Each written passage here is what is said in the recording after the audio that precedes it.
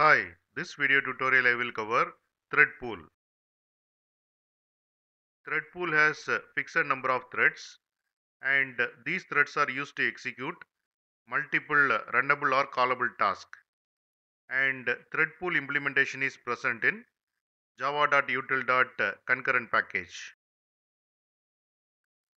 One common type of uh, thread pool is fixed thread pool. In fixed thread pool, we can specify how many number of threads should be present in thread pool. Suppose uh, if we specify thread pool size as uh, 3, then 3 threads will be present in thread pool. Suppose uh, if we specify thread pool size as 5, then 5 threads will be present in thread pool.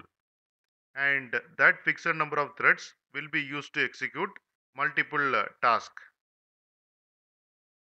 Suppose say we have a web application and uh, in that web application there are 100,000 requests are coming and uh, to process each request if we create a thread object for each request then we have to create 100,000 thread object. So if more requests are coming then after some point of time more threads will be created and it will occupy more system memory and system resources and after some point of time system will crash. To avoid this kind of problem, we can use uh, thread pool and uh, thread pool will contain fixed number of threads and that fixed number of threads can be reused again and again to process n number of requests. Using a new fixed thread pool method, we can create a fixed thread pool and here you can specify how many number of threads should be present in fixed thread pool.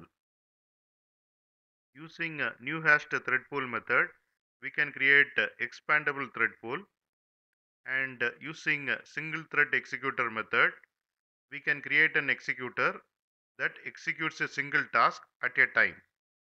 And these two factory methods are available in executors class.